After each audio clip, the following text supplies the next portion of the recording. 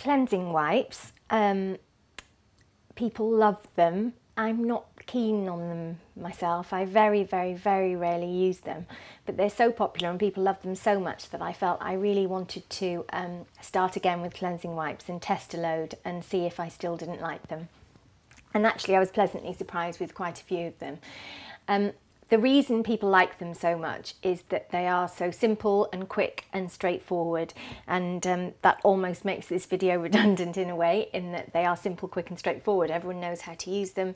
Um, you take one out of the packet, you rub it all over your face, it takes all your makeup off and you toss it in the bin. That's sort of my problem with it to be honest. To me, um, cleansing wipes just don't replace a proper cleanse at all. They're incomparable. The condition of your skin after a proper cleanse and um, with, for example, a cream cleanser and a hot cloth and the feel of your skin after you've used a cleansing wipe, they're just incomparable. You don't feel fully clean. You have this sort of film of stuff over your face after a cleansing wipe that I think stops um, your skincare working as well. However, um, Oh, and the other thing I should say actually about cleansing wipes, the other reason I don't like them is that I'm sort of against things that are disposable when they don't need to be.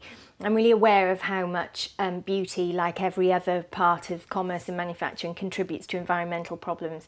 But and I'm I'm not saying you know that I'm massively obsessed with it all the time, although it is something I'm aware of.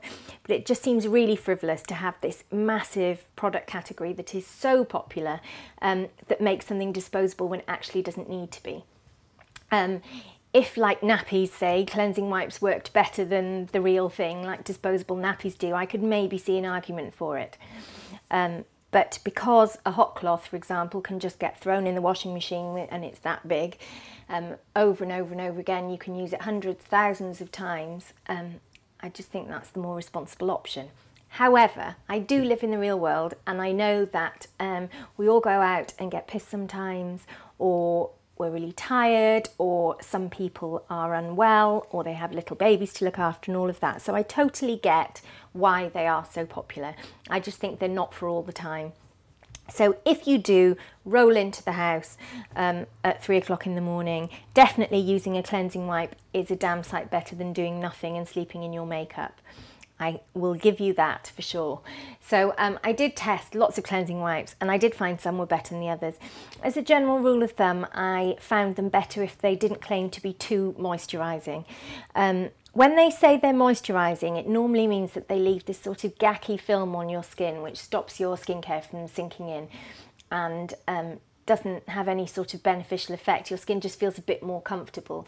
You're better off with a sort of um, neutral, simple wipe, like one by Simple Skincare, that doesn't really make any grand claims, just cleans off your makeup and then you can plonk some moisturiser over the top and you're good to go. Um, the other thing I found was um, wipes that had the kinds of ingredients in that you might find in proper skincare like serum and cream. I personally don't think those work. There's no way you could get ingredients to penetrate into the skin via a wipe. That's just crazy, I think. So you're much better keeping things really, really simple and straightforward. I also um, am a big fan of baby wipes. I found those work just as well in most cases. They took off mascara, they took off um, all my makeup. You could they, they tend to be bigger than cleansing wipes in size, so you tend to be able to get everything off with one wipe. I thought the Johnson's wipes were very, very good. In general, I just don't think you need to spend lots of money. In fact, I found lots of the more expensive ones made my eyes sting or my eyes water um, when I used them is another problem I have with wipes. But I don't, I don't want to seem like I'm really, really down on them. I know people love them, so hopefully from my selection, you'll find one that's right for you. Um, let me know what your favourites are in the comment section. Thanks.